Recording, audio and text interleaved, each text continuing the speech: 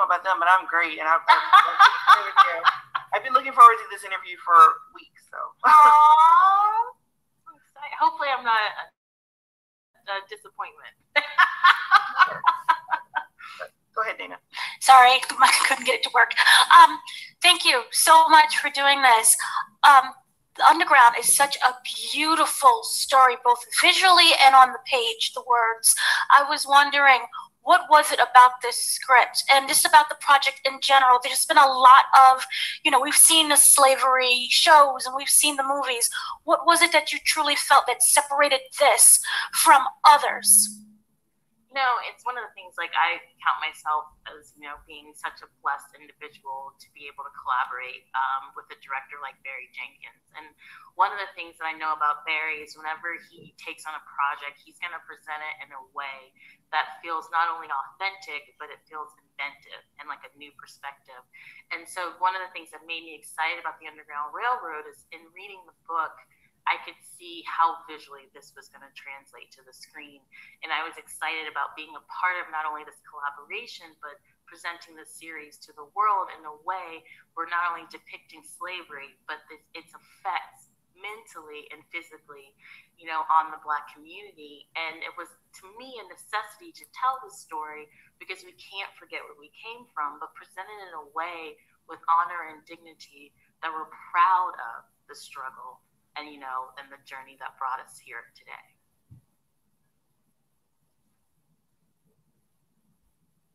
Hey Joi uh, thanks so much for uh, for talking for talking to us. Uh, i'm jamal michelle with the nerds of color.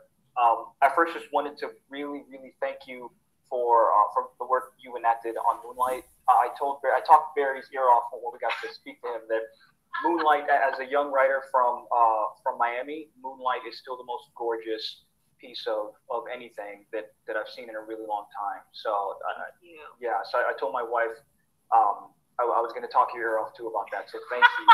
um, you know, you, you had mentioned one of your, your earlier interviews that you had never done a show um, that was 10 episodes long or that was for a streaming service. And I was just curious, what was the, pro- the, the process like balancing each character's narrative for a work of this size and yeah, you know, it was interesting working on a series of this magnitude. I think it was one of the things that we really, really, really wanted to focus on was Cora's journey.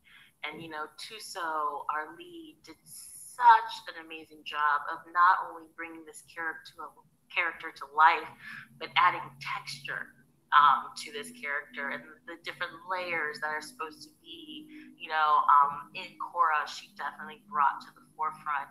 And it's one of the things that, you know, I definitely give uh, Colson and Barry credit for is presenting this female character that's fully formed. You know, she's such a nuanced individual that has layers of being, you know, a little selfish but vulnerable and guarded and also courageous and fearless. And I think there's um, the way that Thuso brought that character to life. There's such an authenticity into her performance that you as an audience member are not only drawn in, but you're invested in this journey that she's about to embark on. And so, you know, doing the series, you know, in 10 episodes, one of the things, you know, we had to pay attention to was how each episode fitted into the storyline, but also making sure that, you know, when you get to that final episode with Mabel, she's been, you know, woven throughout the series that there is a payoff when you finally get to the finale. Um, and that was one of the things that, you know, that Mabel episode definitely influenced the rest of the episodes and made us realize, oh, we should bring in Mabel during these flashbacks. That wasn't originally written in the script. It was something that informed us later on that, oh, you know, bringing Mabel in, allowing Cora to have these flashbacks and these thoughts of her mother allows us, you know, to present the audience with the importance of not only Mabel, but Mabel's effect that she's had on Cora and who she is, you know, throughout the novel, or sorry, the series. Thank you. Hello, I'm Jonita, Jonita Davis from the Black Cape. Um, I I've, I've, noticed this. Um, I don't want to even say trend. I want to say pattern in um, stories, historic stories, our stories that are done by our you know directors and um, with creatives and stuff that are you know that are us, the Black you know creatives, um, where we don't see, we don't get much, as much as a visual of the of the pain. But we get it, the emotional, sensual. You know that that we hear it, we see it in their faces of everybody. We don't necessarily see it um, in the bodies. And I was I was wondering um, first, is that like an editing decision or a directing thing, or is it like a like a combination of both? Where does that come from? And do you think that's something that'll change the way you know, even with white creators, that you know, black our history is depicted on screen, where we're not seeing that visceral, you know, violence, but feeling it. Yeah, you know, it's one of the things that, um, you know, Barry is such a unique storyteller, and I think he is one of the most observant people that I've had the pleasure of working with, and so he's pro- he's taking everything in and he's processing it as he starts to tell the story. And you know, one of the things that like I feel like the audience felt very connected and, and emotionally invested with Cora are were these okra seeds, you know, and and these okra seeds took on a, a whole nother storyline and a whole nother representation of not only um, carrying your past with you, but knowing when it's time to let it go. Um, and so, you know, one of the things that we did with the violence is that it, it existed, but sometimes it's even more heightened by not showing it to you, by allowing you see the experience and other people's reactions, um, or you know, bringing it back in a flashback. And one of the things that I thought was so um, a, a brilliant example of seeing the effect of something physically happening to people or to someone is um, in that scene when Cora and Royal connect for the first time and you see the scars on her back. And it's, you know, it's one of the things that Mingo said, you know, um, or Mr. Valentine says that, you know, the scars of slavery will never fade. And, you know, I think a lot of people want to be dismissive of where we come from and don't want to talk about it. But it's like, we're still representations of what happened, you know, like to erase that is trying to erase us. And so we have to be mindful of the things that we say because it does have an effect on generations to come. So saying that we don't need to talk about slavery, you're saying like, do we not need to talk about where we come from? And that we do, you know, to acknowledge it gives you the ability to move on. To not acknowledge it, you know, your whole, your, your, like Ridgeway says, you got to release that anger. It'll, it'll eat you alive. And so, you know, in presenting the series to the world, we are, you know, it's a cathartic process of releasing this into the world and saying, we don't we not only do we know it happened, but we're presenting it to a way where you can't forget it as well, and we're we're building a foundation that we can you know move on to the future. Thank you. Thank you. Oh, so you're so welcome. Um, Dana Abercrombie from the Koalition again. Uh, like I was saying before, this is visually very beautiful, and what I love is how it pairs greatly with kind of the music as well. Can you talk about a little bit of the inspiration between mirroring both the visuals along with the sound? Yes, you know, um, in film school, uh, the film school that Barry and I attended, our um, sound professor was Richard Portman who was um, a, a, you know a fantastic uh, re-recording mixer. He did Deer Hunter. He worked on Rocky, um, and he always ingrained in us that you know film is 50% picture and 50% sound. Um, and from the beginning, you know, whenever Barry and I um, have collaborated, we have you know focused very heavily on sound. And I feel like for me, you know, working on that that scene with Dick Anthony in the edit, I, you know, tried to put a blueprint for what the sound design was going to be like. But once Onnalee, our sound um, supervisor and re-recording mixer, Matt Waters, got involved, they just took that scene to a whole nother level. And that's one of the things, the soundscape that we're working with. Um, we're definitely, you know, in there with our um, re-recording mixers and developing it. And one of the things I love about collaborating with people that, you know, we've had, we've built this trust and this great rapport that you know Onnalee is talking to Nicholas Britell, our composer, and discussing like you know I'm thinking about adding this anvil sound in the intro of Ridgeway. and Nick is like, oh that's great. Well then the score I'll be in this key so it matches, and so the reason why everything feels so cohesive is because we're all having conversations about the process and how best way um how best to present the series. Thank you. It was beautiful. Oh, thank you. Uh, so you spoke about having to work um, on the beginning and the end of the series at the same time. As a writer, I think that would drive me nuts. I, I really love endings, but I, I, I would be so just flummoxed by the task of, of making sure I didn't jump the gun or reveal too much or too little. Uh, but what, what kind of challenges presented themselves in ways that were different from ones you might have encountered with like feature length films?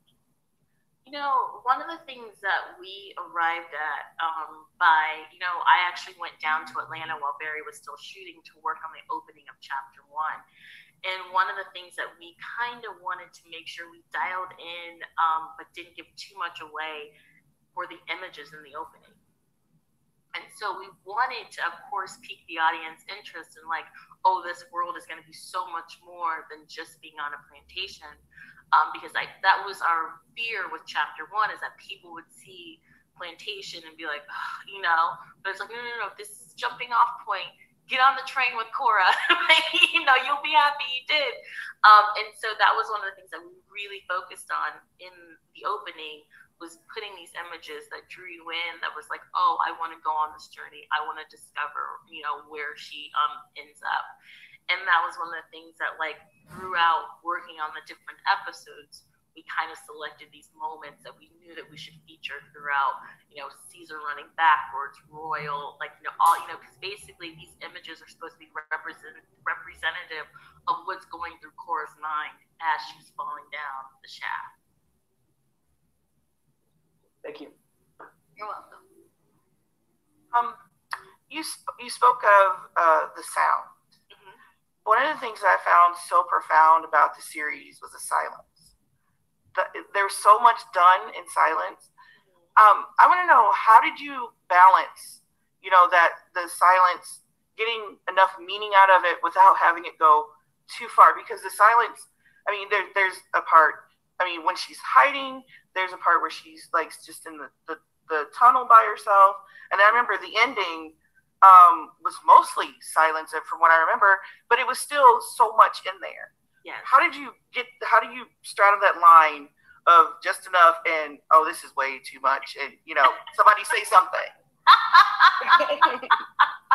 you know, it's one of those things. Is you know, as I'm as we're working on the edit, um, we definitely don't want to take it past the point where you know the audience becomes disengaged. And so it's a fine line of balance between like where when do you have dialogue and when do you let things um, happen naturally in silence and i feel like when you take out dialogue it kind of enhances the viewer. Like you know, you're kind of leaning in when there's nothing to hear, and you're kind of like, okay, where are we going? Like, and it almost gives you makes you a little anxious when there's no dialogue. So then you're preparing yourself for something, and you know, um, I think we took those moments and we placed them very carefully throughout the series, and the soundscape that we, you know, um, that they designed and we created this atmosphere that these silent moments had this intent and purpose behind it. So you as an audience feel like, oh, I get why this is happening this way. Uh, I definitely got it. And then there was one point where I didn't want to move. Because I didn't want Cora to get caught, you know. I know. I was I was telling Barry, I was like, if I didn't know what was gonna happen, I'd be on the edge of my seat right now, being like, where is she? Where is she going? so I'm, I'm happy it, it worked. Yeah.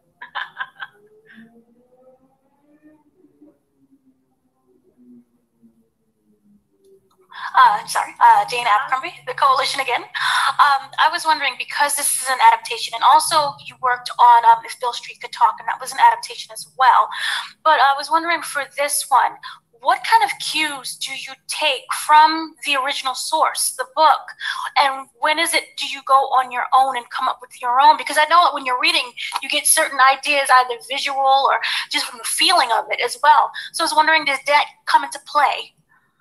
Yes, it does. You know, one of the things that Barry talks about, you know, doing an adaptation with you know, an author who's, you know, passed away and doing an adaptation of an author who's living. And he was like, it's somewhere in the middle, you know, like having that freedom, but also wanting to honor um, the text. And so one of the things I thought that was really cool what Barry did was um, the character Jasper in uh, Tennessee Exodus.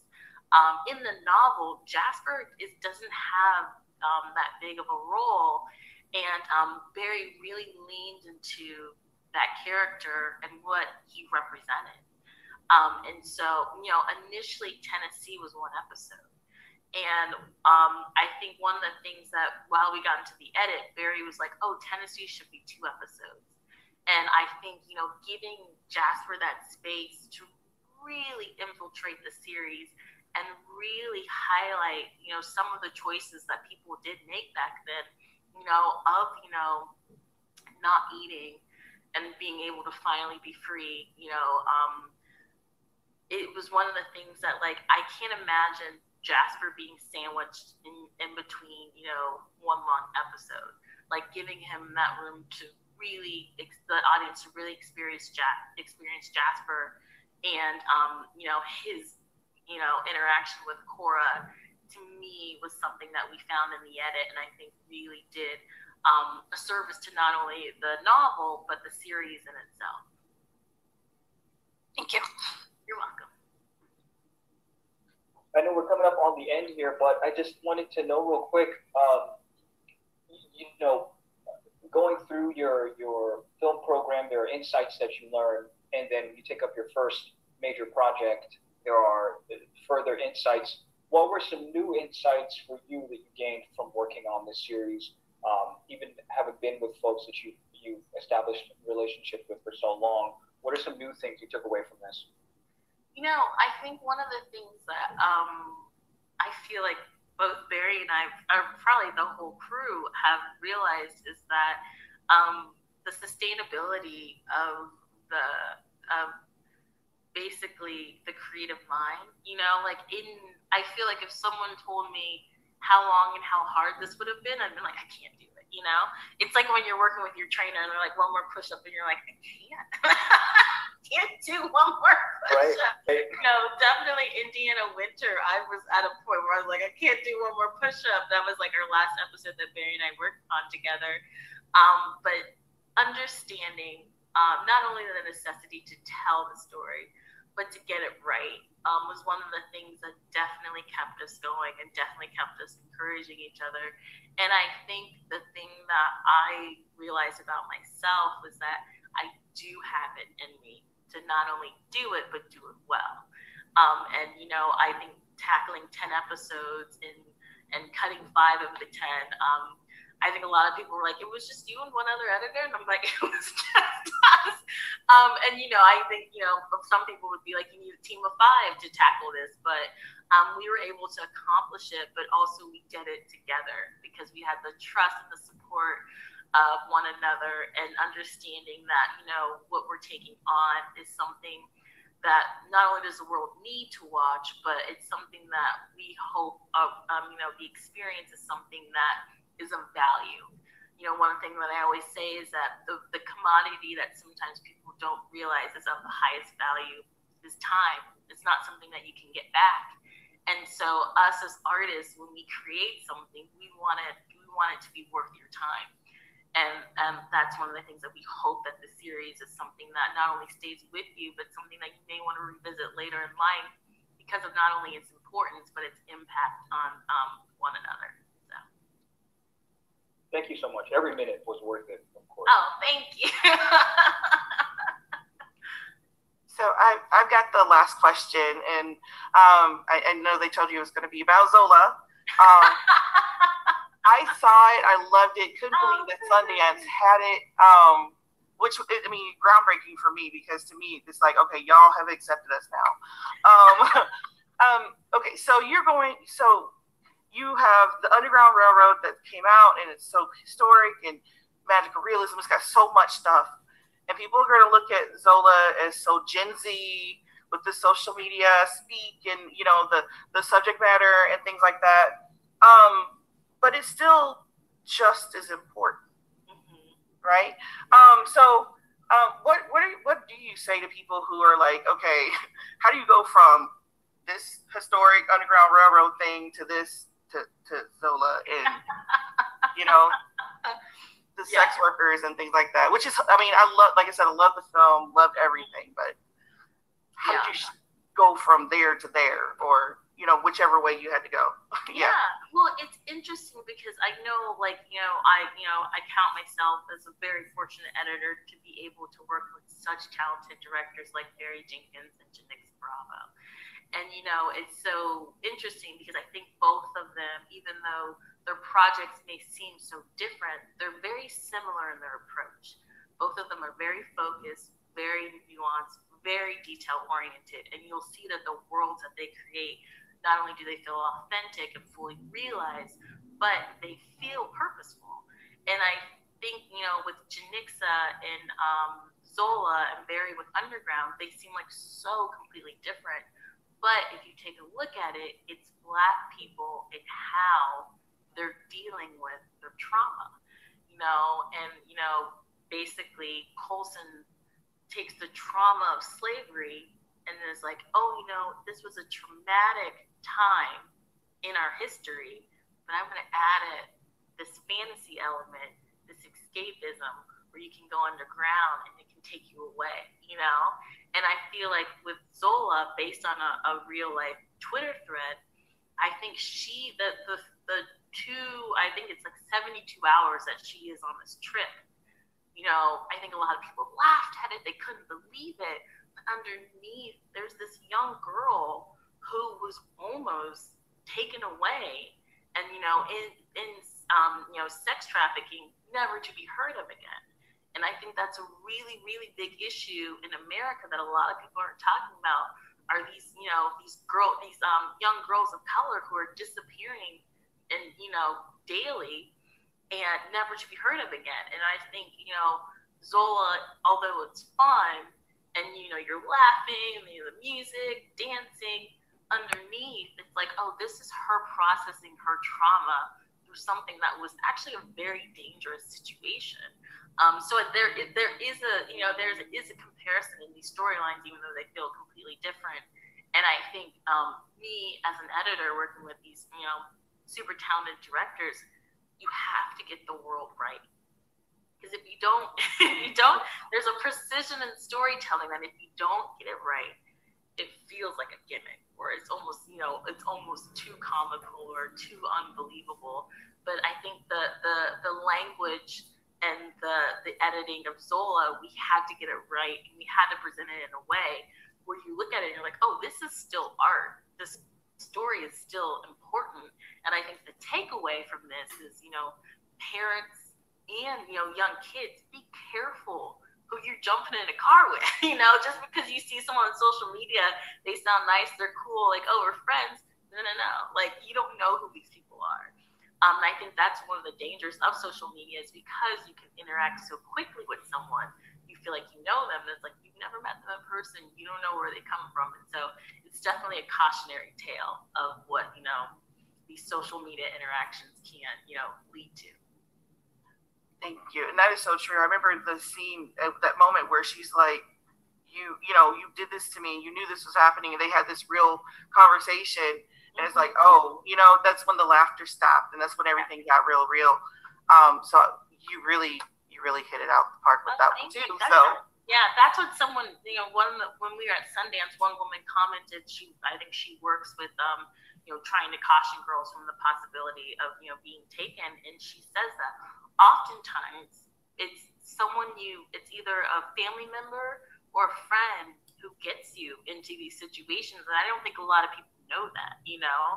So I think it's a, it's definitely something to keep your guard up and, you know, only be around people that you trust. So you, you know, definitely don't have to go down that road. So, yeah.